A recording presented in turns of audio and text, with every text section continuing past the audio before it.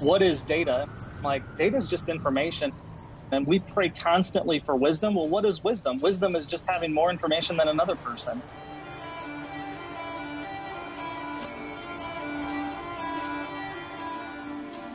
The anchoring verse that was the marker for what it is we were doing was Nehemiah chapter 1, 1 through 4.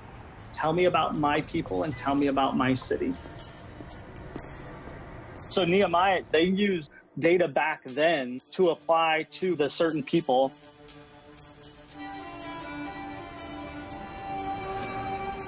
what they did is they used sort of this macro meta data that said, "Hey, man, things are really messed up, and the people, they're, I mean, they're they're jacked up. Like things are not going well."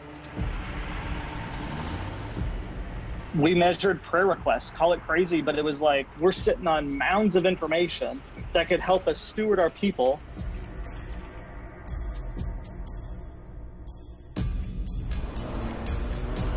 So Nehemiah, now that he got this information, what does he do? He modeled praying, he modeled fasting, he modeled mourning, and he modeled weeping. But he also ended up doing something based upon the data.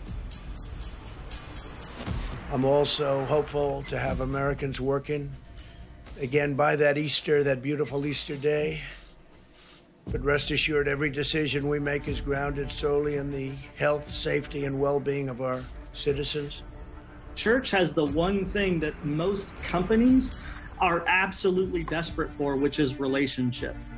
We own the relationship space. Like, we own it. That's the church.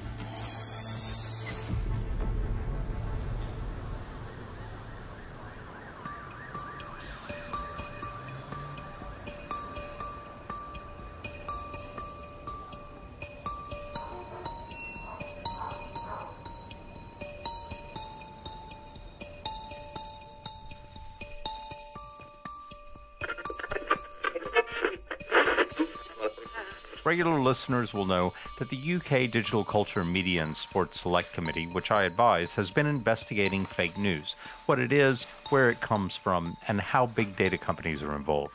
But after the revelations about Cambridge Analytica, the investigation has dramatically widened.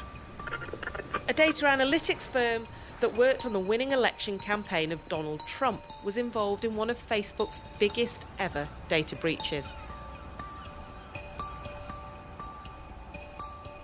I'm Charles Kriel. I was the special advisor to the House of Commons Select Committee in the UK that was investigating data and Facebook and Cambridge Analytica. It was really exciting for me because I'm half from Alabama and half a Carney, so that doesn't exactly scream parliamentary advisor.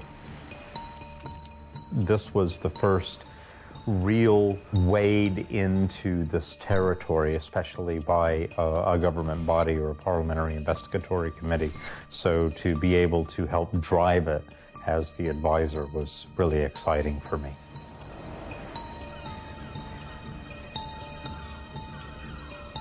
Welcome to this uh, further evidence session of the Digital Culture, Media and Sports Select Committee. Dr. Kriel, You'd like to start us off? Thank you very much, and, mm. and thanks for having me along today.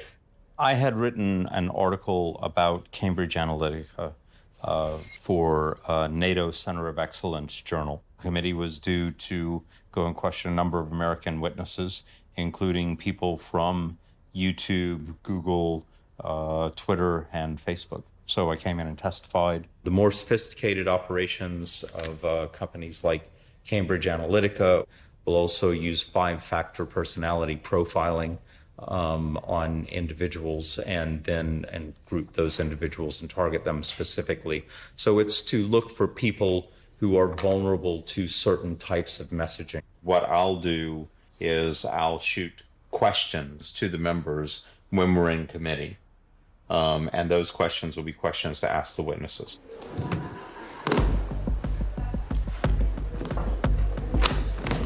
But if someone came along and said, I, want to, I want to sort of, I want to run a campaign that is, um, that is, which is going to be particularly relevant to people that are thinking of voting Republican but have very strong uh, religious beliefs. Would you say we actually can create that campaign for you because we not only understand people's political motivations, but we also can identify people with uh, strong religious beliefs? Hypothetically, uh, it would be possible if you had enough data, say, on um, you know evangelical uh, Christians in America to have a look at that audience and, and see if there's a correlation between that and, and some political agenda. Obviously, there are very large church organizations and religious organizations that might have access to these types of data. Yeah.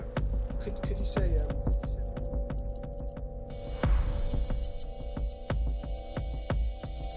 Did you notice what Nix said at the time about evangelicals? I didn't notice at all what Nix said about evangelicals when he said it. That went unnoticed by everybody else.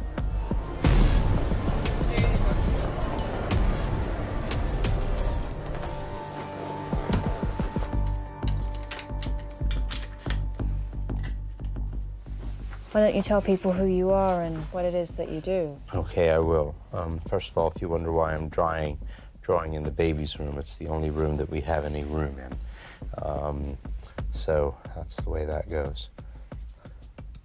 Um, uh, my name's Charles Kriel, and I'm the uh, special advisor to the UK House of Commons Select Committee on Fake News. Um, I'm a lot of other things too, but that's one of many things that I do. I'm a specialist in digital media, as you can see. This is something a lot of people don't know about what brought this iteration of Cambridge Analytica down and how Alexander Nix ended up answering to Parliament. How did you do that? Um, well, Channel 4 hadn't done their sting yet. The question was, how do we get him to come in and testify? Because there was beginning to be some scrutiny on him, and we figured he probably wouldn't. So I drafted a letter that was very complimentary. Oh, Mr. Nix, you are so very, very great. It's fair to say that, that there'll be many people that have, have given their data to you who are not aware that their data is then being used in this way, used to support other campaigns? I think the first answer is that uh, this is not particularly intrusive data. This is not like someone's given up their health data or their financial data um, or, or their, their private data. You, you mentioned that you have four or 5,000 data points on every adult in the United States, uh, i.e., the entire voting population. Does every adult in the United States know that you have four or 5,000 data points on them? Would you please come in? And he did. What kind of people usually respond to that kind of uh, invitation? narcissists. We're trying to make sure that voters receive messages on the issues and policies that they care most about, and we're trying to make sure that they're not bombarded with, with, with uh, irrelevant materials, and that can only be good. That can only be good for politics, it can only be good for democracy, it can be good in the wider realms of communication and advertising. How would you target millions of people like me if you if uh, because because when we're talking about elections or big big campaigns that's effectively what we're we're talking about it's not just the micro targeting of a very small number of people based on a age or geographical location, but but a whole range of people who hold different views. Here's what Cambridge Analytica would say. With 10 likes, I can predict your behavior better than your coworker. With 300 likes, I can predict your behavior better than your wife. But what they're really saying there is by algorithmically observing your behavior, I can learn to understand you and figure out how to push you to extremes. So if you're somebody who is politically in the middle, it's really very unlikely that I'm going to turn you into an extreme leftist. But if you are somebody who is on the left and pretty far out in the margins of the left, I can probably push you to extremism. I can get you so wound up and so angry because I know what you're afraid of or I know what pushes your buttons. And I can do the same with the right. What's new is I can micro target to scale. So I can do this to millions of people at a time now and manipulate a population to turn out to vote for the person I want them to vote for or not to turn out to vote for the person I don't want them to vote for. Can I just, can you just hold that point, Sven? I'll just get a quick. Great, great. My name is Sven Hughes. I used to work as head of politics for uh, SCL, the precursor to Cambridge Analytica. The big data is something that can be over time regulated and the commercial sector will will kind of clean up its act. There's actually a much much more uh, serious story that sits behind this which is to do with election financing the kind of companies that put into power and take out of power people on demand for a price. It's completely unregulated. Pretty much the, the, the no one knows about it. And the people who who do know about it have a tendency to end up dead in Africa. With what you know, do you worry? Do you have you got scared in the process? Um, I've certainly warned one of my team, who was my deputy at the time, when I left uh, SCL for ethical reasons. I warned Dan Muresan, don't stay. The, the, the operational security on this is not good enough. I'm pleading with you to step out of this company now with me. He made his own choice, turned around and said no. And the next thing I heard, he was killed on an SCL, or he died on an SCL contract in Kenya uh, sometime later. And this is who Chris Wylie was uh, talking about being his predecessor. Yeah. So I, I was I was in that job. Then Dan Muresan, who's dead, and then Chris Wylie, who obviously is now a household name. A deal went sour, and again, this is what I've been told. So I'm not saying this as a matter of fact, but um, people suspected that he was poisoned in his hotel room.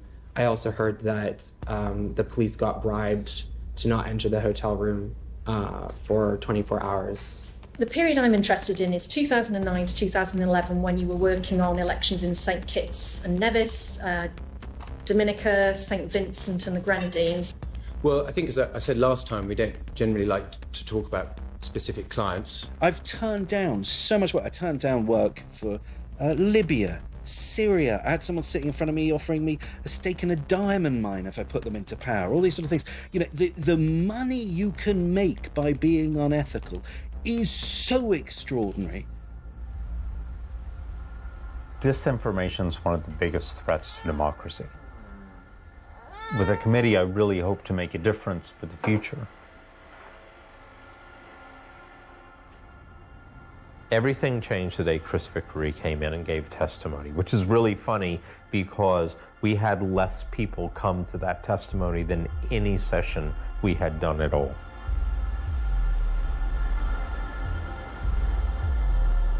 Good afternoon. Um, I'd like to welcome Chris Vickery. Um, we're delighted that um, you've been able to join us, Chris, and you've come all the way from the West Coast to be here in London today.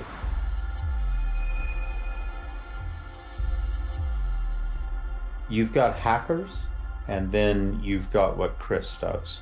And hackers will break into things and take data, and they'll call the company and go, We've got your data, and if you give us so much money, then you can have your data back.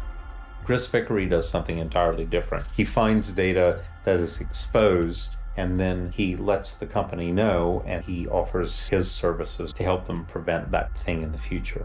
So, as he tells it one night, he was hammering around on the internet and sort of listening in the background to information about the Cambridge Analytica investigation. And so he goes looking. What is happening is this database of truth exists with all the data. He finds a vast amount of cloud data open to anybody who registered for an account. The database of truth, which we decided to sound a bit like a science fiction novel. um, um, that's is that a sort of constantly evolving organism, which is get get sort of you know richer and richer depending on what's what's put into it. The database of truth is fed. The foundation, apparently, uh, according to what's written in there, is the Republican database called uh, Data Trust Voter Vault. There's a company named Data Trust that is very close to the Republican Party, the GOP in America, so much to the point that I would say they could be considered the same entity. And then they add state voter files to, I assume, corroborate yeah. what's in the RNC's database. Then they add consumer purchasable data, such as from Experian. You know, it's limitless what other companies would sell you data similar to Experian. Then they add lists that the that the campaign itself gives to them. Chris finds this data. He um, downloads it. Uh, he makes uh, the authorities aware of it, the FBI aware of it. On this hard drive right here that I'm, you know, delivering to you guys in the committee, uh, you will find all of that. After the session was over, he gives us the hard drive, and uh, me and some of the MPs are standing around looking at each other, and they're they're going like, "I don't want to carry it out." And the other was like, "I don't want to carry it out either." Nobody wanted to nobody wanted to walk down the holes with it. It was really quite frightening. Um, so they gave it to me. There's a reason that not many people have come forward and spoken about Cambridge Analytica. I'm in Paddington Station and I've got this hard drive on me and I'm just terrified. I don't know what I'm doing carrying it on my back, trying to ferry it home somewhere safe and get it to people to, to examine. I was sure that there must be something on this drive that would lead us to being able to nail Cambridge Analytica. So I've just had a big interchange back and forth with. They've been working with us supposedly for the past month on doing this hard drive investigation. And it turns out they've got one developer less than half time working on this. That's just not going to do. And what's going to happen is this investigation will end up getting lost to history.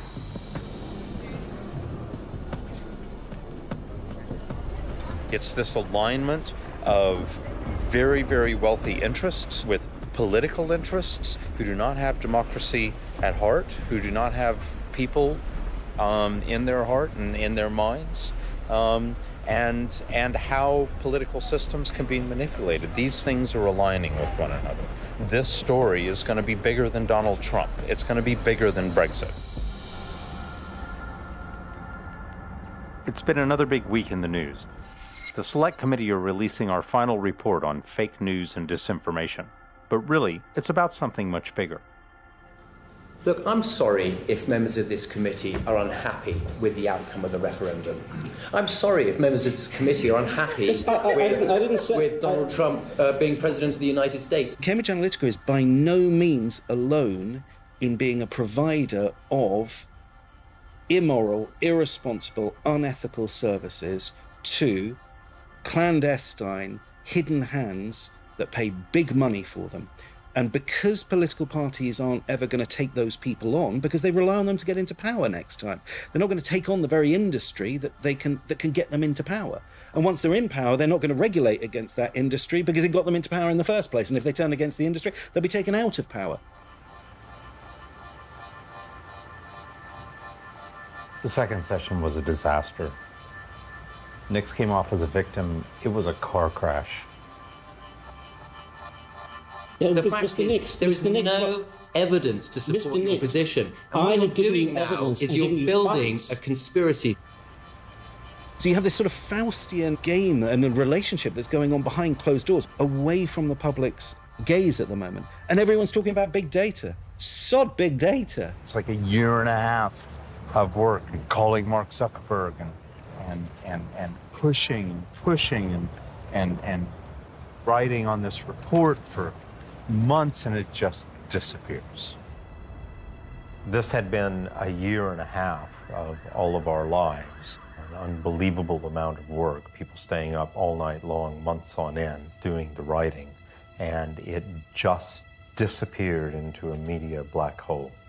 It was like lying in bed in the middle of the night. Have I wasted the last couple of years of my life? It just felt like everyone was going to get away with it. And there wasn't a thing I could do. What was slam dunk on the drive, though, is there was a lot of information um, from America. Uh, there were a lot of records from America um, and, and related to voting and voters. And uh, in fact, there was a part of the Republican National Committee's database on that drive. Now, the next big election coming up is 2020 election in the United States. This is Cat's phone. Please leave a message. Hey, Cat, it's me. I think we have to go to America. Puedes correr cuando quieras, corre cuando quieras, corre cuando quieras. Tarde o temprano Dios te va a cegar, tarde o temprano Dios te va a cegar. Whether it has to do with religion, our evangelicals are here tonight and they're all over the place. As congressional testimony over Ukraine started to heat up a few weeks ago, we learned that President Trump took time out to pray. Oh, this is God country. A group prayer in the West Wing with some high profile guests, as tweeted by televangelist Paula White-Cain. Now, a photo showed Trump standing, eyes closed, nearly two dozen well known evangelical leaders with their heads bowed lay hands on his arms and shoulders.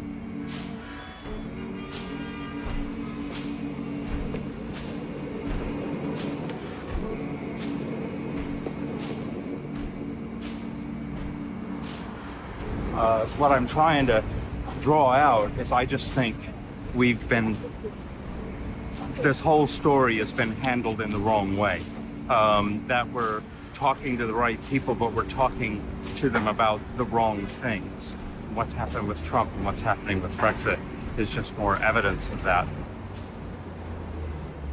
Our first stop in America was Sean Ebe with Graphika, who'd been analyzing the evidence on Chris Vickery's hard drive. I had also started looking at the United in Purpose data breach, which was the uh, 100, I believe it was 191 million voter records that were found exposed, also by Chris Vickery. United in Purpose started off its life as a evangelical group they made a coalition of pastors that were essentially doing a get out the vote drive within their evangelical churches and stuff like that to kind of build out their voter database. By the time that Vickery founded, they had grown 191 million voter records. That's essentially every voting age adult in the US. Are these records the same as the GOP Data Trust? This is supposed to be the GOP's central location for all their data. If you look at their total number of profiles, they're pretty much neck and neck. Well, you went up by 5 million, you went up by 5 million. You're not acknowledging a connection, but it seems like you guys sure do seem to get records all at the same time. It does not seem like it makes a whole lot of sense that a evangelical group would need 191 million profiles. There aren't that many evangelicals in America. I think it's somewhere a quarter of Americans identify as evangelical, which puts you at like 75 million. Um, so there's definitely a lot of people that are in there that didn't sign up for it. Vickery also found 28 million records that were highly enriched profiles. I believe that was the one he found himself in, where it had like 60 different issues, and it was predicting people's stance on that issue. And for the for the layman, what does enriched mean?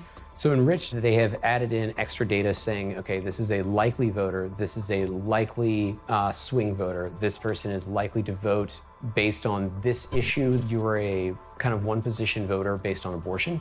Doesn't matter what other policies you support, all those you can kind of ignore. This is the one that's important. So it's a pretty deep level of like understanding of of what can you know what you can expect a person to do when they go to cast their vote. That's interesting because it's supposed to be a separation of church and state. Oh yeah, no, they're supposed to be. Um, it doesn't seem like it works all the time. Okay, he's coming. How's the sound quality? Conservative churches in America are often used to spread a number of clearly partisan political messages. They're used to mobilize and drive voter participation. So when I went to meetings of the pastor networks like Watchmen on the Wall and Church United, what I saw was these national leaders who were focused on uh, partisan political gain. They were going around the country to swing districts, often in advance of key elections, and then working to shape the views of pastors and then encouraging these pastors to become politically engaged in what were clearly partisan ways. Imagine a data platform designed to help you improve the lives of individuals, the health of families, and the vitality of communities. Insights from Glue is the world's first big data platform centered around personal growth and development. It provides a 360 degree view of your audience with a privacy protected database that includes more than 2,200 data points for nearly every U.S. consumer. Every point of data moves you one step closer to understanding the needs of your current people and those in your surrounding community, so you can reach them with the right message at the right time. That could be people battling substance use and mental health issues, or young people seeking their spiritual path. Maximize your capacity to change lives by leveraging insights from big data so you can understand the people you want to serve, reach them earlier, and turn their needs into a journey towards growth. That's outrageous. Is that on the market at the moment? They took it down. That's outrageous. Basically, they're saying, is this Cambridge Analytica by another name? God help us. We're going to hell in a handcart. God help us. So this guy Brent, like overnight, he sends me a thousand messages from Melbourne. Hey, Brent, welcome to New York. I wake up in the morning and my notifications are completely full.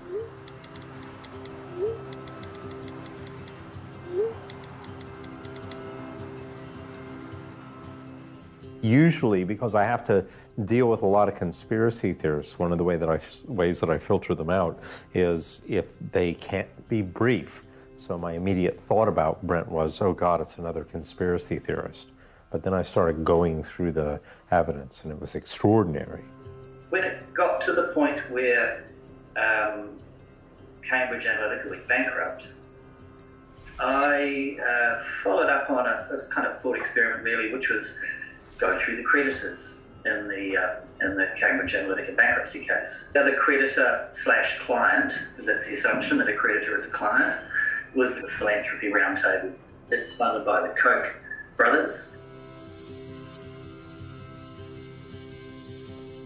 And they set up a Culture of Freedom initiative. They're funding projects to do with families, marriage, and church attendance. And one of the key projects that they've been promoting over the last few years is a Smart Ministries initiative.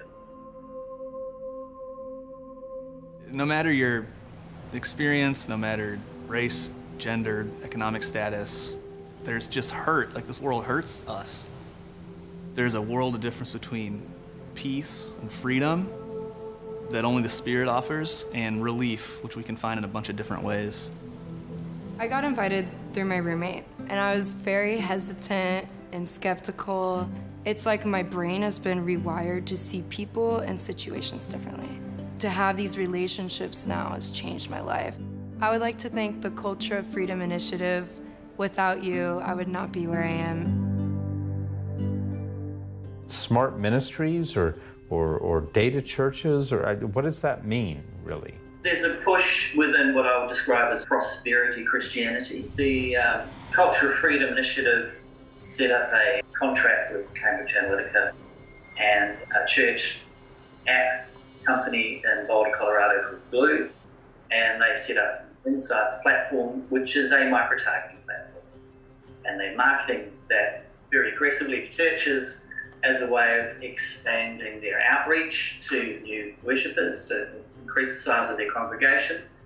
And um, it's also a means by which the congregation data is kept. And so they discuss openly in some of the background documentation that if you target people who are suffering from relationship stress, then you're more likely to get kind of flow on um, attendance at church, and, and they're more likely to well, donate twice as much as existing church members. And so the data is the link. The concern for me is if you, if you put these techniques in a religious environment of any kind, a religious group of any kind, an audience that is ripe for information um, influence. What they are doing there is trying to um, create an unknowing universe of control in which vulnerable people are situated, and this group of people who have an agenda are turning around saying, We know what's right for you. So, what we'll do is create the context that when you're at your most vulnerable, we're there for you. Absolutely, without question, those are the same techniques that ISIS, Al Qaeda, the Taliban have been using, and we've been fighting for many, for many years, which is the the parasiting, if you like, of the infrastructure of a religion to put in a malevolent message. Um, yes, absolutely, that's a concern. Sven calling it radicalization really hit home for me because a big part of my work is doing counter radicalization um, out on out in frontline states, and these techniques are the techniques that are used in radicalization. Whether you're talking about Islamic State or you're talking about neo Nazis we've developed and, and have built the, the, the largest data platform uh, that, that I know of in the world that's missionally aligned. The church has the one thing that most companies are absolutely desperate for, which is relationship.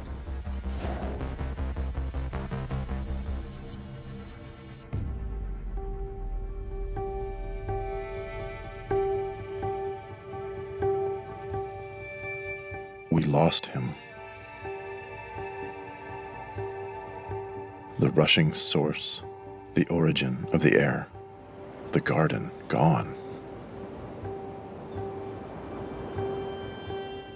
Now, ever over a distant horizon, we lost him.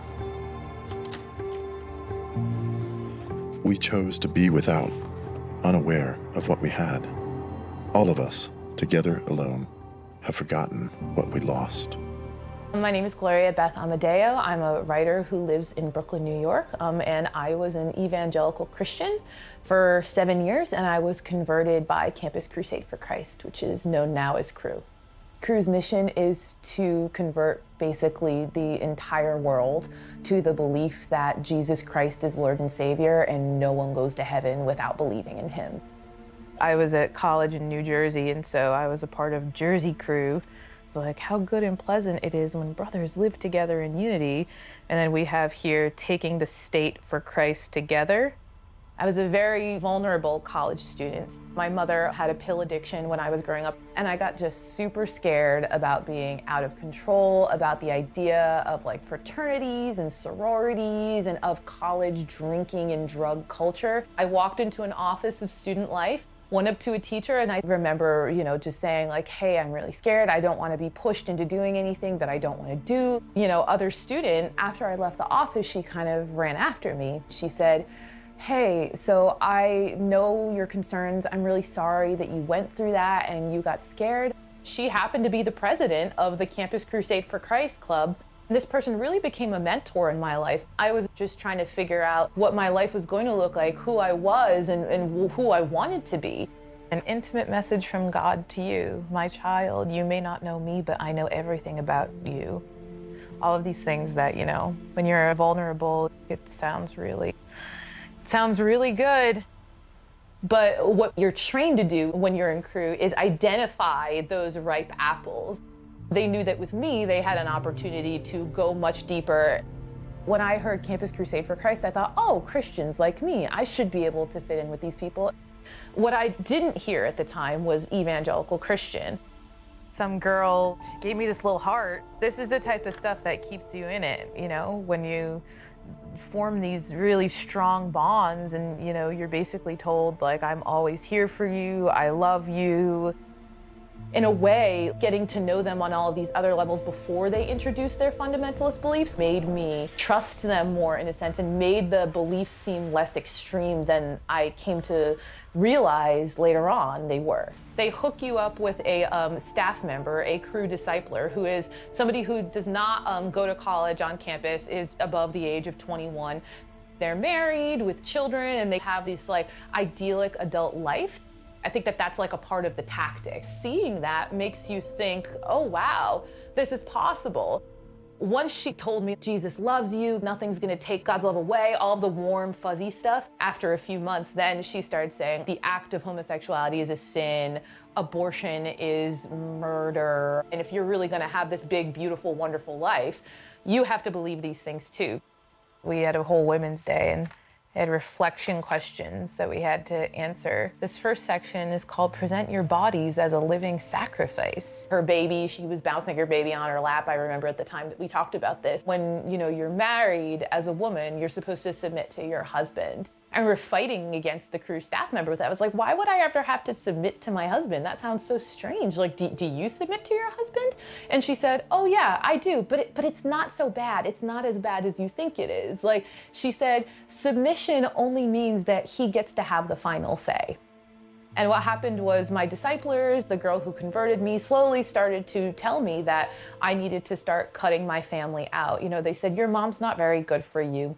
You shouldn't talk to her on the phone anymore. So, very slowly, they began isolating me away from my family. And eventually, they started isolating me away from my non believing friends as well, who they felt like had too much of an influence on my life. This tier underneath your short term goal, what Cru's mission was, Continue to target those in your life who need salvation. Yeah, the word target there sticks out to me. Um, Cru is a gro- global organization, yes. Uh, they even are involved in the military, interestingly enough. They have a whole military chapter. If anything says the main goal here, take the state together and then take the country, is the, is the idea.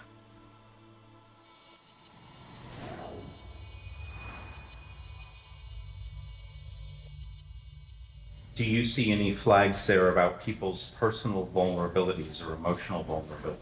I I don't think that would be something that they would broadly advertise because it sounds like an e- evil supervillain thing to do.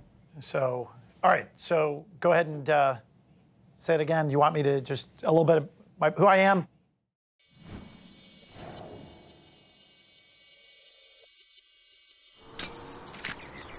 The big question on this is why would the Koch brothers do this at all? Because they're not known for being particularly religious. Uh, so to dig into this further, um, we thought we'd start at the source and go to the founder of Communio slash COFI. In 2014, uh, I started the Culture of Freedom Initiative at the Philanthropy Roundtable. And I had, in my public policy world, used and worked with predictive analytics and, and big data tools within public policy to identify folks who would be persuadable on certain issues. What would it look like to use it within, within the realm of ministry? And so we, through the initiative, funded the development of the Data Insights platform. Gloo already had some initial funders, and we provided funding over time and helped to develop it and helped to test it for a few years. The multi-church test using the data with a focus on relationship ministry every large company in the world, if you sell consumer products of different sorts, are trying to figure out good ways to market that. And there's no better product, really, than the gospel. Religious nuns are on the rise in America. Only these nuns are not religious at all. They check the box for none, N O N E, on surveys of religious affiliation. But a growing number of churches, working in partnership with Communio, are seeing double digit increases in weekly membership and collections by architecting their ministry around strengthening the core building block of community, the family. Communio's playbook is now available to your church. We help a first church diagnose some, some opportunities around their church campus by identifying an audience of, say, 5,000 folks within five to 10 miles of a church's campus. Maybe have a marriage based on the consumer products data, looks like it might be struggling in some way in their marriage. They have young kids, and they're open to an invitation to church. And then we'll reach out and help them design ministry outreach invitations through Facebook, where we'll reach out to that group of 5,000 or 10,000 folks who fit that risk area and invite them in, come to a date night event at the church okay, with that child care provider. They'll meet people at the church and invite them over for dinner, invite them into their small group. Now these couples who didn't previously have as robust of a their own personal network of friends are introduced to these folks who uh, want to know them. Those couples can uh, be guided over time into what we would call a growth journey. I think I read an article that you said you kind of worked with the original data guys, Cambridge Analytica, when you set it up. Is that right? We worked with a number of, of data vendors. Um, we worked with, um, uh, in my old world, in, in, uh, in public policy, there's no shortage of really good vendors. i360 is one of them. Um, uh, from an efficacy perspective, um, there's a lot of really good, a lot of good firms out there, and um, uh, we've worked with we've worked with a number of them. And, and with funding, I mean, is it really passionate private yeah, investors? you know, I think you've hit on something that's really central to the American experience. Tocqueville talked about it in his Democracy in America. We have this really robust tradition in our country of solving problems through voluntary civil action. The United States has the largest group of charitable donors in the world, uh, give more away in charity than any other country. So, yeah, there's a lot of committed Christians who we've met with and understand that you know these resources that they have, they see them as not theirs but God's. Is there anybody who you can mention by name? Is there anybody who want to? Yeah, no, because uh, what we do, you know, most charities are this way. You protect the privacy of the person largely because it's a gospel imperative. You don't want the right hand to know what the left hand is doing. I'm from Alabama. All of this stuff happens where I'm from, where I grew up, people I knew, churches I went to when I was younger. Um, it was really time for us to, you know, We're going to move this investigation forward to head for the Bible Belt and let it out a couple of notches. How does it feel to be in the South, Charles? Well, it feels like the promise of decent weather. The GANSES program isn't the only one. Um, there are programs around uh, grief, around addiction recovery. Um, there's programs around divorce, programs around financial trouble. And they're all trying to draw non religious people um, into the church.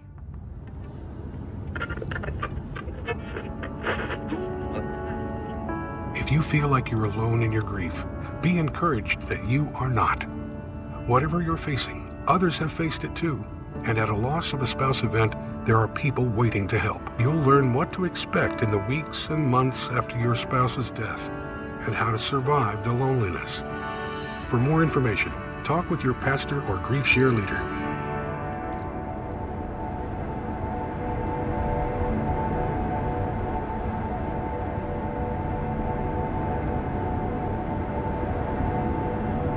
That is the real baptism.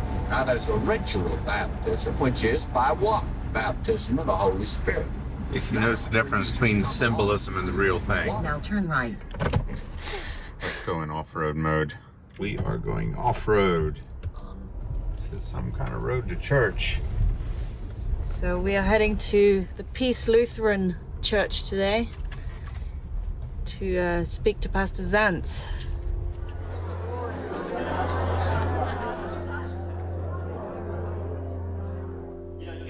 I've been in ministry now for 18 years. I've said this to my leaders in my congregation. The most, if you will, successful form of connecting God's love to these people in their lives has been at the moment of grief. And, um, and Grief Share has been a part of that. Hi, I'm Kathy Fallon, and I'm super excited to let you know that starting today, people can register for your groups online. They have a leader portal that you can get on and, and, access some of their publicity materials. They have things specifically designed for bulletins and flyers, newspaper ads, the things that you can post on Facebook, little videos and so forth. Sometimes I forget Jody's gone. I knew in my head, you love God, you trust Him, you pray. And that doesn't guarantee that things are going to go well. Grief Share has been a tremendous blessing to our church. This young woman that went through uh, an amazing loss in her life, she was not a believer. Grief Share, the answers were given, and she gave her heart and life to Jesus. And they have a lot of sign-ups. I saw each month. It's it's it grows exponentially, really fast. Yes, it does. Yes, and they have new types of uh, entry uh, events. They have uh, surviving the holidays those who are preparing for Thanksgiving, Christmas, as you know, very difficult times. to give you tools to help you through that. And then they introduce you to the 13 week series of Grief Share mm. uh, to give you a taste of what that's like. All the skeptics in the world. A man of science, but a man of faith, and he stood in front of me, and when he would stand in front of the people and teach them the prayer, you know how he explained prayer? He says it's simply this it's a chit chat with God. Chit chat with God. You know, late 90s. Um, that's when the church growth movement was at its height. You know, you had the Saddleback community churches, you had the Willow Creeks model for outreach there is, to some extent, an expectation or a pressure, many times from the congregation, to conform or to try to find outreach similar or reflective of some of the great models that came out of Saddleback and, and Willow Creek. He wrestled with God about all the, the. For me personally, ministry has been a challenge. We're seeing in the midst of Christianity schisms left and right. Um, that trickles down into the congregation the institution of church in the States is so powerful and so moneyed. Do you ever worry about exploitation, about the, the churches not being what Christianity is supposed to be? Do you see examples of that? Uh, do I worry about it? Yeah. Every single day. Every single day. Well, David was a great guy. He had a really good church. And, um, he seemed like he was um, part of a big system, but not part of the machinations of it. So what we needed to do is, is move on to, uh, to a bigger church, something a little more mega.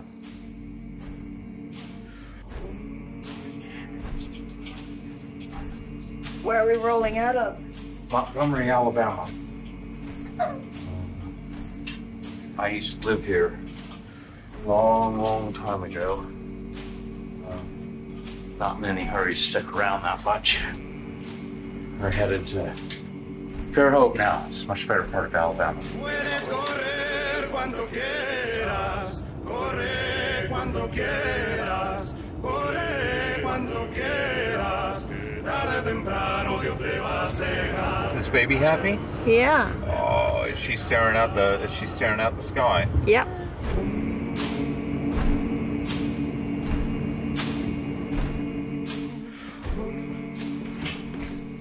Catalina. Hi. Hi, I'm Mike. Nice to meet you. This is Karen. Carrie, nice to meet you. you. We're so glad y'all are here to Thank meet with us today. This is our office space and uh, kind of a kind of a new space for us. Our different groups like Grief Share that meets here uh, during the week. Okay, well, that's great. So this is where we meet. We average about 13 people, but I think when we started, there's about 20, 20, 25 20 people that kind of enrolled. And so sometimes they can make it, sometimes they can't. And his heart is good, and is always kind. With the cross he proved, he is on our side.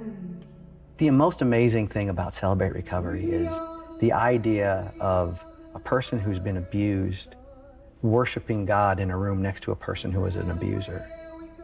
And God's honored by it. I, do, do, you, do you understand? Do you know what I mean? That's what God's capable of through Celebrate Recovery. That's the difference between Celebrate Recovery and most other recovery programs.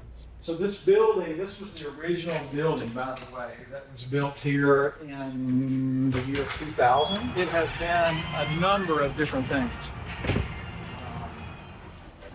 So if we continue walking, this is our brand new space. We've been uh, been here just four Sundays now. Uh, everything's state of the art. Computer check-in. Type in their name and that pops all their information, and you say check in my child, and it checks them in.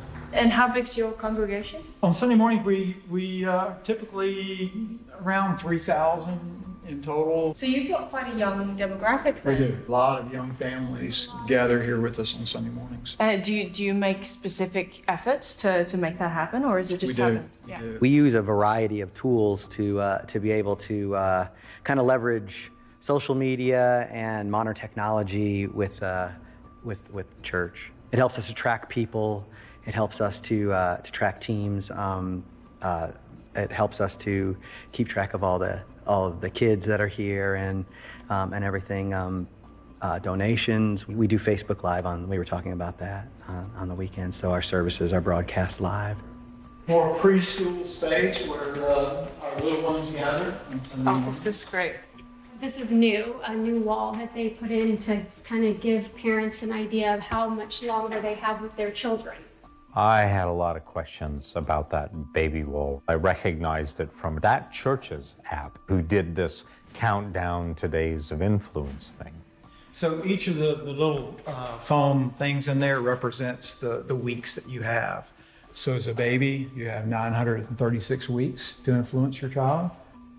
You know, you can be sure in that app, if you've got your push notifications on, it's uh, waking you up and reminding you. It's like, you've only got 877 days to save your child. It's a behavioral design mechanism. And then when you come over here, when your child is now a senior in high school, you only have 52 weeks left.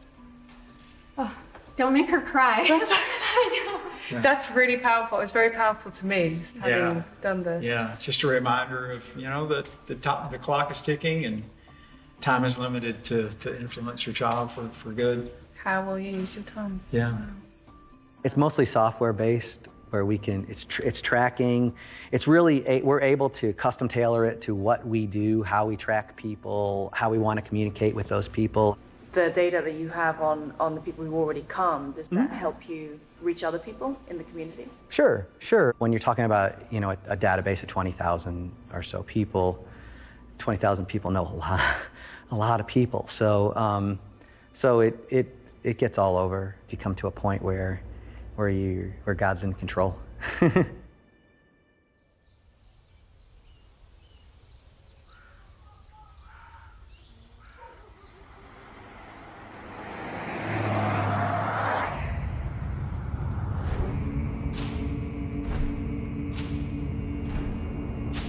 You can't go two miles here without the church.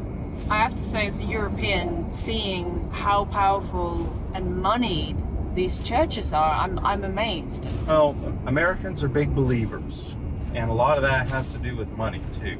If you're British and you are working class, it doesn't matter how much money you make in your life, you will always be working class. And if you're upper class, it doesn't matter how much money you lose or how much reputation you lose, you will always be upper class. That's in, true. In America, everybody's like three paychecks away from getting thrown out of their house. If you get rich, then you can go in a restaurant and flip the table over. They're going to invite you back as long as you can pay for the bill.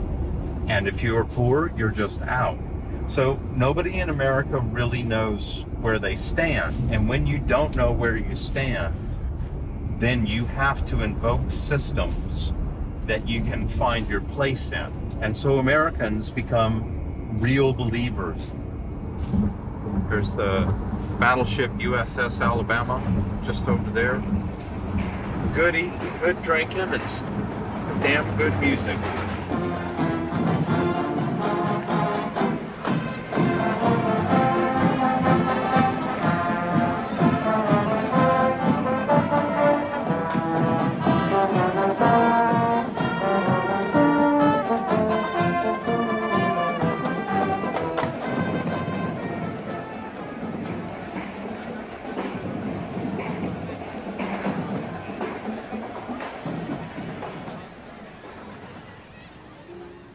It feels good every time I get back to Alabama, and, and it feels strange at the same time. It's home, and it's not home simultaneously. I spent about half my childhood in the Deep South, and when I wasn't out traveling. I identify with the South now, even if I don't identify with Southern politics. I've been living in Europe for 30 years, although I've lost my accent. You know, when I go back home, people think I'm Canadian. At this point, my head was full. There multiple companies that seemed to be helping people, but did they have a dark side? I needed to see Chris Vickery, but that hard drive he brought to Parliament, he was the first person who explained how it all worked. I mean, what does the church know about you data wise? The church doesn't need to know data wise. The church just needs to know your name, possibly your address, mm-hmm. Maybe your phone number. That's a good identifier too. Uh, then United in Purpose and uh, or any other big data operation has all the data already about these different names. The data they don't necessarily have is what church you go to. That's where the link comes together. Okay. And so if they have, say, a name and a phone number, they can match it up to everything else. All your views, the websites you go to, your your Facebook handle, your Twitter commentary, all that stuff. And they've already got a sentiment value on you. They know whether or not you're a likely uh, Trump voter or not. They just need to know what church you go to.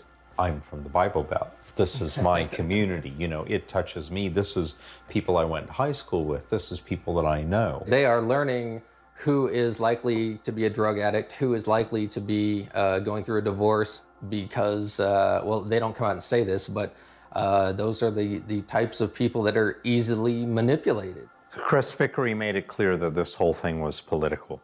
Um, the voter record leak was from United in Purpose, a company that was founded by a guy who had been convicted for embezzlement. Um, my concern, though, was on the big prize, which is the 2020 election. Could you maybe talk a little bit about how somebody would use a third party data set for a church app, then how that can then be used politically? Well, if you can figure out that 95% of the people that are interested in thing A are overlapping with people that tend to join your church in your area, then you don't need to guess and target. You can target the people in your area that have trait A. If you know that this person buys these things at the grocery store and you know that their friend, you know, Beth comes to the same church, has a kid about the same age, but you don't have her grocery store information, if you have three other friends that you do, you can pretty much guess that she buys about the same type of brands that these other ones do. So even though you only have one little spoke here, it feeds back into the main data pool of predictability. And all of a sudden you have this ability to enumerate things about Beth, or you can draw it out in, in other teasing ways. But someone might say, it's just my name and my phone number. For one individual, yeah, it's with one person, it's like, you know, one single grain of gunpowder, of explosive powder. And you can, you know, light that with a match and, yo, that was fun. You know, no harm done. But when you've got uh, a huge pile of it, you don't want a match to get anywhere near it because it'll kill you. They will go to a big megachurch, get the pastor, preacher to give them a database of members of the church, and they'll run it through their systems and figure out who's registered to vote and who isn't. And they will identify people that are registered to vote, like the social conservative, Republican conservative type feelings. Very anti gay, very anti abortion, very hard line. And they'll find one of those people and make them into a champion. And then it's up to the champion that is a registered voter to convince the non registered congregation members that feel the same way to register to vote. So it's very selective cherry picking of we want these certain types of religious people to register to vote and then vote. It's all there on paper, but uh, when you map it all out, it looks like one of those conspiracy boards. Conspiracies happen behind closed doors with unnamed actors attempting to deceive the public. They happen in the dark. This is happening in large part out in the open. They're using the tools of democracy to dismantle democracy. It's not really that they're trying to deceive us, it's that we're not listening. I'm always online trolling and I'm paying a lot of attention to the news. And on Chris's Twitter feed, this journalist and author pops up. Her name's Anne Nelson. And she's suddenly talking about an organization that seems connected to every aspect of this. It's the Council for National Policy, and bingo, there we are. This is a defining moment for our generation, and our people need leaders. Pastor, lead, and the people will follow.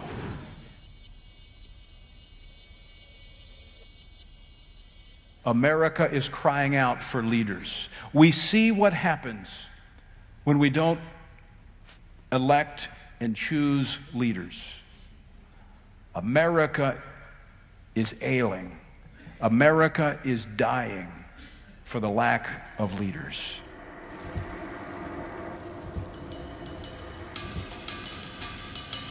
Anne was about to launch her book at the Texas Book Festival, so it was back on the road again. This time I took my mother, who's a writer, Judith Richards. How is it driving in this weather? Um, if I'm aware that everyone I love is in the car. How did you come across the story? I came across it visiting my family in Oklahoma.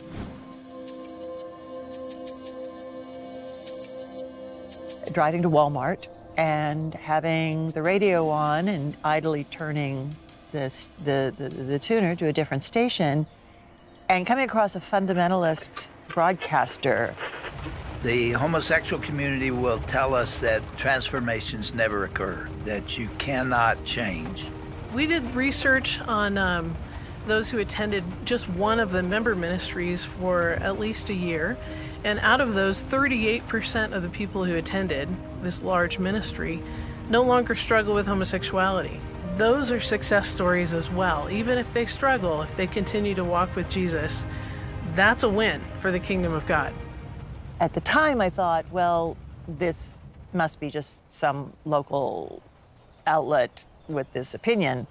And then when I pursued it, I found out it was part of a, a network of 100 stations. That was part of a, a trio of networks, uh, radio, and then multimedia platforms.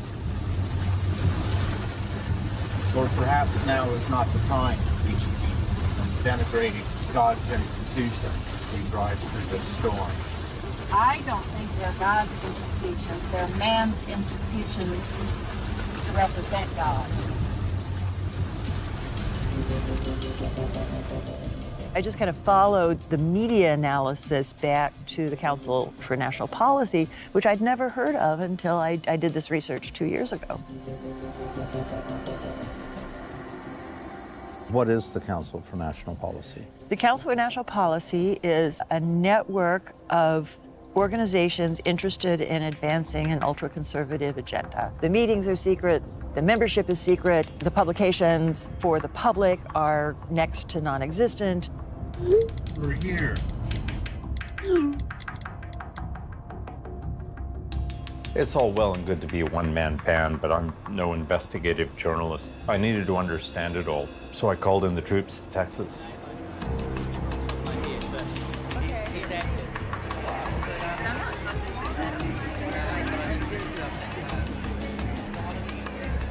Anne Nelson has received a Livingston Award for her journalism and a Guggenheim Fellowship for her historical research. A graduate of Yale University, she's taught at Columbia University for over two decades. She's a member of the Council on Foreign Relations and the New York Council on the Humanities. Uh, she's a native of Oklahoma, which we may talk about, uh, and now lives in New York City. And her book that we're here to discuss today is Shadow Network Media, Money, and the Secret Hub of the Radical Right. The Council for National Policy, Kellyanne Conway is a member, Steve Bannon is a member, uh, and then I went through the members of Trump's Evangelical Advisory Council. About a third of the members of that council are members. The influence is quite striking. They have a social agenda, which is to roll back civil and political rights for the LGBT community, women, and others. The three components tend to be religious fundamentalists. Another part of the hub is, is the extractive industries, oil interests. And the third component are political operatives who've been trying to push the Republican Party to the right since the Nixon administration. In order to achieve this, they have to really reify the idea of the United States as a Christian nation in which their form of Christianity is dominant. It involves allowing their churches and their religious organizations to function as full fledged partisan political activists while maintaining their tax exempt status. June 21st, 2016, they invited a thousand fundamentalist leaders to New York City to meet Trump on his home ground, and they cut a deal. And the deal was pretty transparently that they would lend their ground troops, their data operations, which were very advanced, and their strategists to the Trump campaign in exchange for three vital elements. One was allowing them to fully participate in the selection of federal judges. One was an evangelical council that was dominated by members of the Council for National Policy. The religious leaders in the Council for National Policy have been become converts. Many of them were never Trumpers before June 2016. And they decided that Trump, if he was not a man of God, could be an instrument of God. They call him Cyrus after the Persian king who helped restore the Jews to Jerusalem. And Cyrus was not a man of God, he was an instrument of God. Their theorists will say outright that the American government is slated for destruction. They think that it should be destroyed. In that way, they hope to use Trump as God's wrecking ball.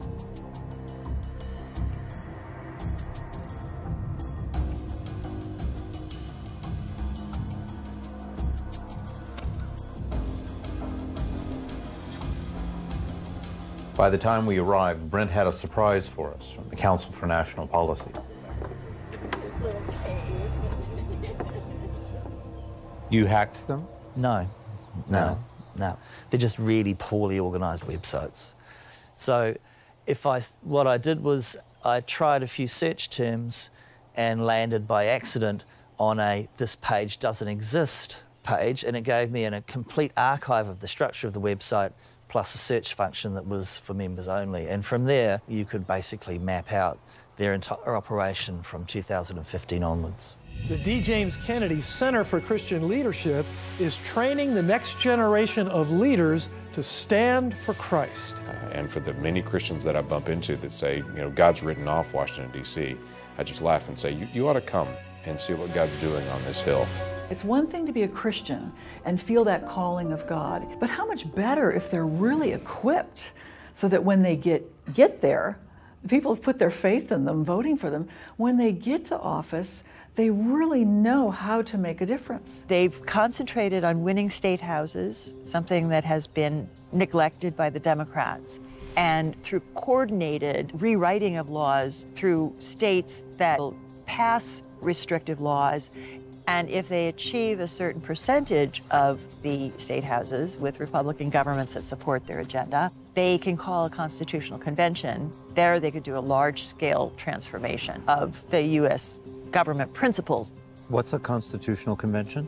Oh, it's where the states get together and decide uh, how, whether and how to rewrite the U.S. Constitution. It hasn't happened for a long time. There's two ways to rewrite the U.S. Constitution the hard way and the easy way. The hard way is that you go state by state, amendment by amendment, and nobody gets anywhere that way, especially if you want to re engineer the entire document. The easy way, or at least the way they see it, is that you call a constitutional convention. Now, to do that, you have to get two thirds of state legislatures to call a constitutional convention around a, at least a single issue. But once the convention has been called, then you can introduce whatever other issues you want to. So you have the opportunity to rewrite the whole thing. You can handle um, marriage equality, you can handle issues of women's rights, abortion, federal regulation, term limits. ICNP friends, Father Frank Pavone here, National Director of Priests for Life. Thank you for all your support and collaboration of us at, with us at Priests for Life for ending abortion. I have here my MAGA hat, which I'm sure that many of you have, and I wear it proudly. Many people say, oh, I've never seen a priest wearing that MAGA hat, but we're going to go forward with confidence into 2020 and re-elect the most pro-life president we've ever had. I would like to recognize some of our new members uh, that have joined the Board of Governors and the Gold Circle. Um, and if you're here, and I think everyone is here, if you'd please stand, we'd just simply like to recognize you and welcome you. J.P. DeGance and his wife Christina DeGance. DeGance was a member. Of course he was a member.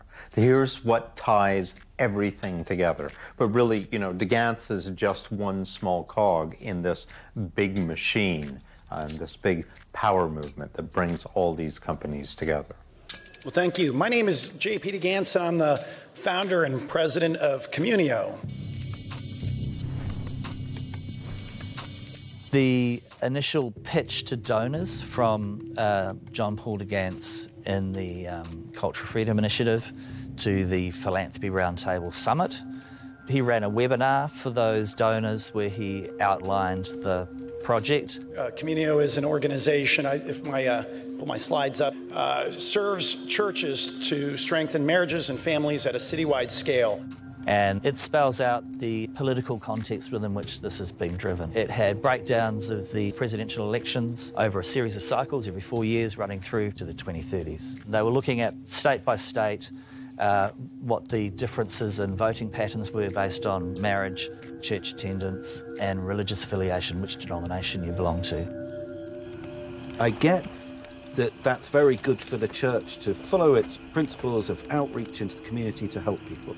What I'm not understanding is what's the relationship with the Republicans? In the initial pitch to donors for the, um, for the micro-targeting platform, they identified this demographic problem that there was a very strong correlation between non-church attenders and people who don't vote for Republicans. Effectively what they're saying is we can engineer a shift in the population to get that extra percentage we need of voters who can tip the balance within a particular um, electorate. My name is JP DeGance, and I'm the Executive Vice President of the Philanthropy Roundtable. I know many of you on today's call are joining us for the first time and aren't as familiar with this project, its goals, and what it's accomplished to date. So by way of some background, The Culture of Freedom Initiative is a donor led effort led by a task force of business leaders and of differing faiths from around the country. We'll go, we'll go right over into the intro of, uh, of, of Will Hild, who's our Chief Operating Officer of the Culture of Freedom Initiative. Will and I actually met some years ago when we both worked for these uh, uh, brothers out of Wichita, Kansas, uh, the Koch brothers, and, and we uh, we're both, we jokingly call ourselves recovering political hacks. So I'm going to skip over here to the audience builder. Right now it defaults to the entire United States. So there's 266 million uh, folks in the database. You can add the family dynamic of propensity for divorce. You can model a number of different uh, behaviors or, or tendencies towards behavior, including opioid dependence, um, different mental health disorders. He modeled praying, he modeled fasting, he modeled mourning, and he modeled weeping but he also ended up doing something based upon the data. They're targeting extraordinarily vulnerable individuals, young struggling couples, millennials who aren't going to be able to afford a house or they may be trying to make payments on a mortgage or they're struggling with all the costs of medical insurance. They're struggling with a member of the family who may be having a dependency problem. So I go into my church Yep. I fill out a survey. Yep. I trust the institution. I think it's trying to help me. I'm revealing myself emotionally through this survey. And then that information, I believe, is being anonymized for my church. Yeah.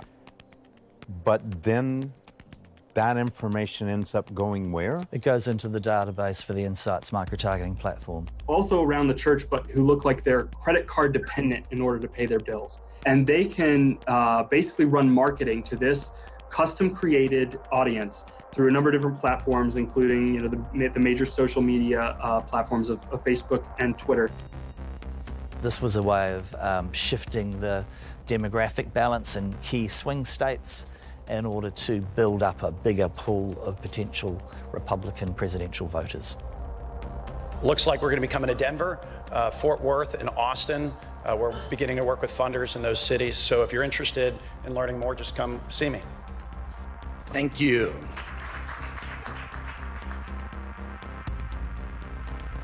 Do people in churches know that their personal information is being gathered to use in political campaigns for the Republicans and the right? No. The churches that were actually, you know, doing a good job in the past, those churches don't necessarily realise that effectively those church leaders in some of those smaller churches are also being exploited. If you have a defence grade system, a weapon system of influence, what it is looking for is the weaknesses in people. That Influence is only really necessary on the battlefield to either break the will of the enemy or to bring together the will of the of the people who are uncommitted that you want to make committed to your cause. Every preacher we've talked to, every pastor we've talked to, I'm not even sure that they have the uh, uh, an inkling of what's going on here in terms of what's happening with the data and the way it's speeding up the chain. What do you yeah. think the congregation would say if they realised that potentially a defence grade system of recognition of their neurosis to radicalise them in a certain way that is befitting of a political party. That is something like out of George Orwell. Where's the regulation? Where's the rules? What the strategists have done in this movement is say, all right, we don't have to win the general election. That's not the way our system works. You win the electoral college. How do you do that? You go after the swing states. 18 million people scattered across four to six states. We know where they are. So, which ones are in churches? Now we download the church directories with the support of the pastors enlisted in this movement, between 70 and 80,000 in the United States. We will then compare the, the directories with who's registered. Then we will decide which of these voters we want to activate. We want to discourage the others from the same congregation, right? But on the face of it, what the parishioners see is you're an American, go vote. We're going to give you a voter guide that strongly suggests how to vote. Whoever was financing Brexit or whoever was financing Trump, they certainly want their pound of flesh at the end of it. People don't put millions, tens of millions into a campaign unless they think they're going to get a return on their investment. I can say that for sure. The ultimate position to be in um, in a state of war is when your adversary has no idea that they're in a war. The stakes are that high, and in fact, these systems of civil society that we've worked so very, very hard to build, um, they can crumble and disappear. We continue to offer up our children as living sacrifices to the Moloch of government schools. A lot of effort's been wasted on school reform. Government schools are no more reformable than Soviet collective farms. This movement is attacking a lot of the institutions that taxpayers have formed to care for people, like the Affordable Care Act, like public education. And then when they are defunded and start to wobble, they say, see, they're failing. Come see our parallel universe, see our, our fundamentalist schools, see our so called Christian collective health care entities. So they're trying to set up institutions that address all of these needs and make people dependent on, Yeah. on their entire superstructure. I, I feel that Americans have gotten lazy about democracy. They, they- you know, if people say, oh, why don't they do something? And I say, who do you think they is?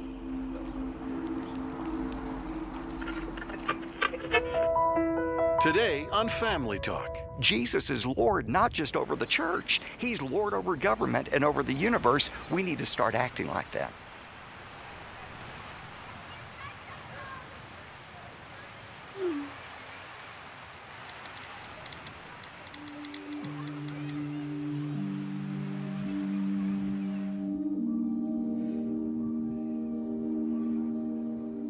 I have a map of the second floor of the Ritz Carlton in New Orleans. This shows where all the different sessions of the Council for National Policy are going to be happening. There's a big Catholic Mass. There's a board meeting at 4:30 to 5:30, and we have booked this Vermilion room. My secret recorders are these.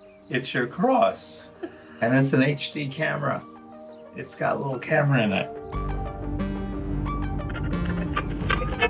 You know, I'm going to vote for people that's more in line with what this Bible says. The founders put in the impeachment clause just so if someone came in and they were the worst villain you ever saw in your life, you had a way to be able to rectify that. Well, they impeached Clinton, That- Yeah. and, and really nothing changed. I didn't agree with the way he was living his life, but does that make him not fit to be the president? See, that's it, me. it I- was a mistake back then. It's an even bigger mistake today. You know what I thought? Man needs Jesus. In the end, we're all sinners.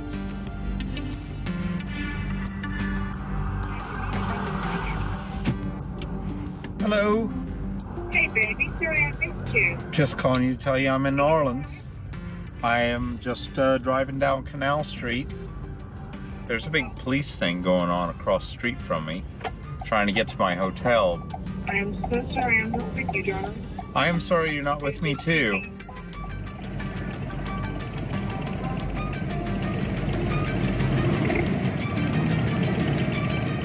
Wasn't scared at first. I thought I was on a bit of an adventure. You know, it's like, okay, I'm going to get my microphones, record undercover at the Council for National Policy, and, you know, be the first person who's ever done it. And it would be really exciting. And I, I wasn't scared about it at all. Um, but then I get there, they say, well, you know, there's going to be no ins or outs to the hotel. And I'm like, this is this is the Ritz Carlton Canal Street. What do you mean no ins or outs to the hotel? Who shuts down Canal Street? The plan had been that I had booked one of the rooms for lunch, but then they canceled that. What in the world is going on in the hotel? Yeah, there's just security everywhere and the street shut down. They told us there were going to be no ins or outs between 10 a.m. and 2 p.m. And I thought, fuck it, I'll book breakfast and just stay for a long time. I'm in the hotel. I can't even get out of the hotel if I want to. Um, so I'm going to wander around and shoot what I can.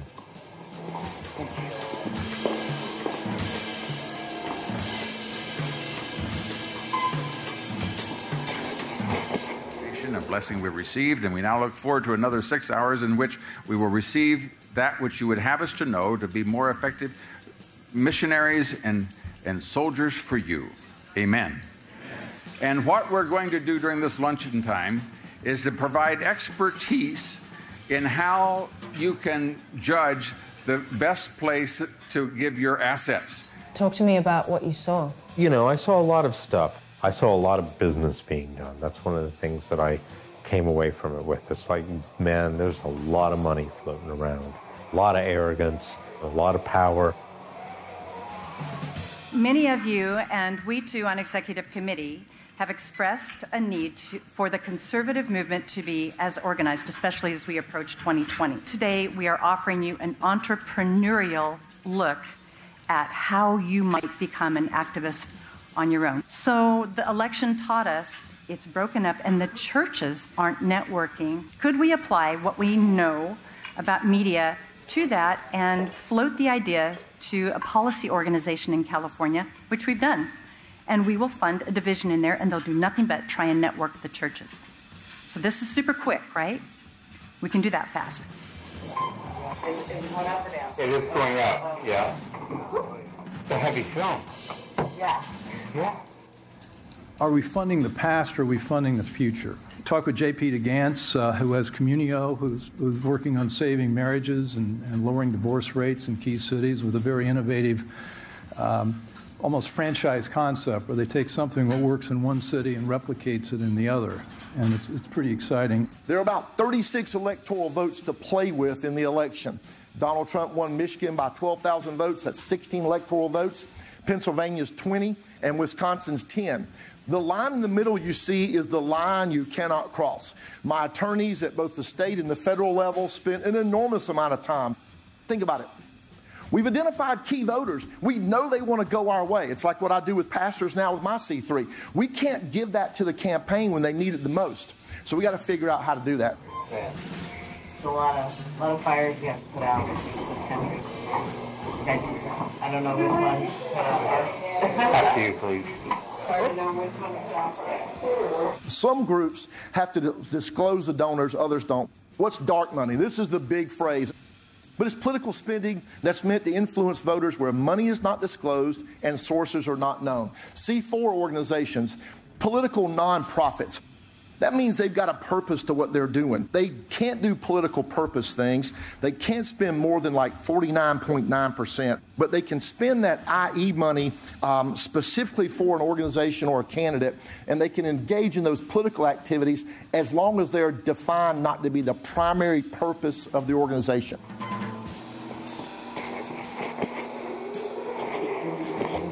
Then I finally made my way to the Vermilion Room. And then I get there and there's all these Secret Service types. No, I'm trying to find the restaurant. Sorry. Thank you. And I thought, okay, who's here? What's this about? So we need to get people in our churches, our organizations, every group you have a sphere of influence with to do voter registration and make sure they're part of that. We know that helps because once voter registration has been done, those names go into the state election records then that's accessible for the campaign, the candidate. They know who those people are. If you're not doing anything else, make sure you're helping to sponsor and run voter registration drives everywhere you possibly can. Keep this in mind as I wrap up 36 electoral votes to play with. You've got to think about this for 2020. I saw a group of tourists getting ready to go, and I thought if I can just slide up behind them and be a part of what they're doing, then I can slip out with them if they manage to get out. Past security, past the Secret Service, and then I was scared. Yeah, it's like, am I going to end up with a taser in my back or thrown in jail in Louisiana? Nobody wants to be thrown in jail in Louisiana. And then uh, past the uh, friendly cop waiting outside.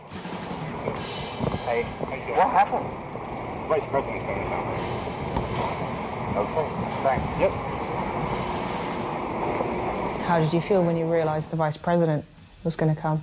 Oh, like I needed to get the hell out of there. As best I could. You know, like get the hell out right now.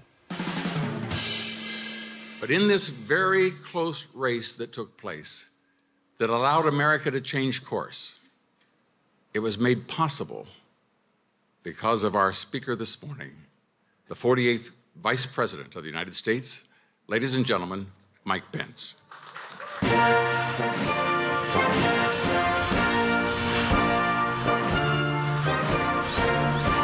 Hello, CNP. You are a sight for sore eyes.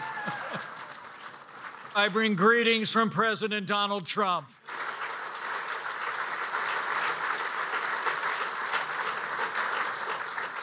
Isn't he something? I'll tell you. You know, some people think he and I are a little bit different. Uh, but I'll tell you what, he and I have become very close friends. Uh, thank you for your enduring support. And frankly, the leadership in the council that the Council for National Policy advises and gives this administration every single day. Thanks for standing strong with this president and this administration. A young person asked me just the other day, they said, How do you deal with the socialist agenda? And I said, We talk about freedom. We tell freedom's story to this rising generation because it's not going to be enough for us just to win the next election. We've got to win the next generation for freedom.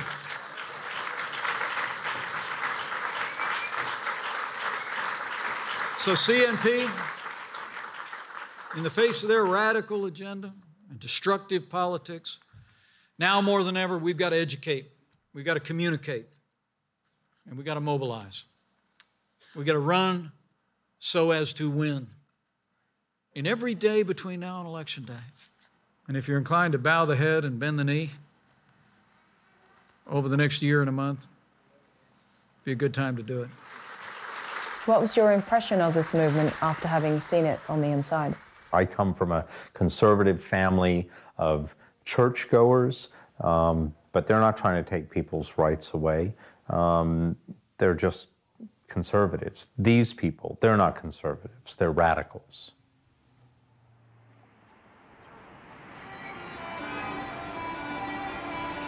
Is the fear greater than the virus itself? President Trump and his administration, they've acted decisively, they've acted responsibly to respond to this virus, and they got ahead of it very early.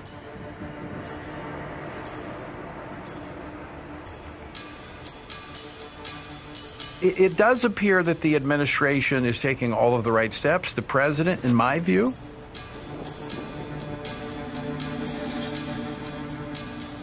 I am encouraging churches all over the country to participate in Reopen Church Sunday, the first Sunday in May. Reopen Church Sunday. You can go to reopenchurch.org.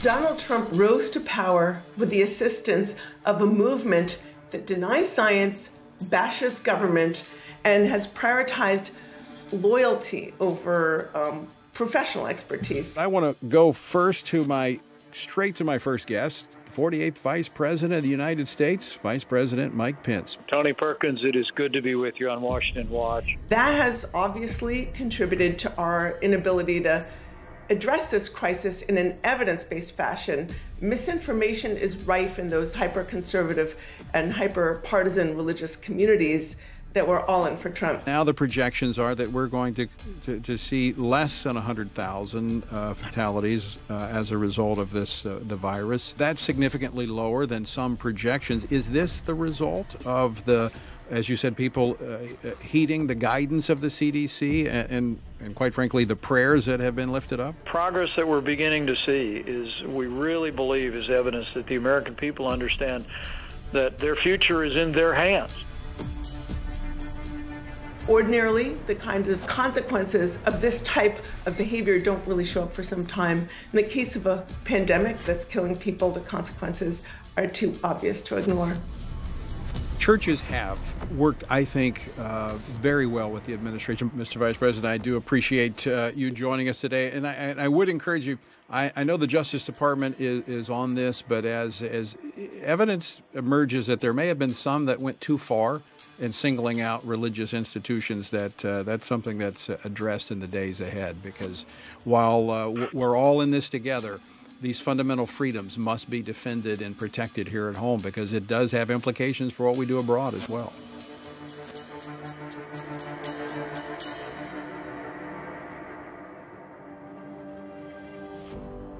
In times of crisis, people and communities often turn to the church for guidance and support. In these times, how can churches rise up and find new ways to be a light in their community?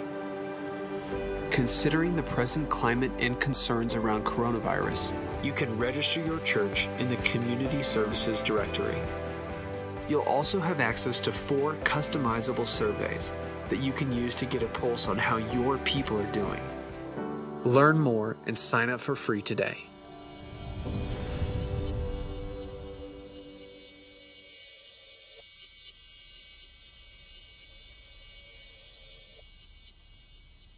The more that you should probably look for, it depends on how long you've got and how much time you've got and all the rest of it, which is the Russian connection. Um, is the camera rolling at the moment in terms of what's it? I'll do it when the camera's off on this one actually, because that's uh, that's one that will get you killed.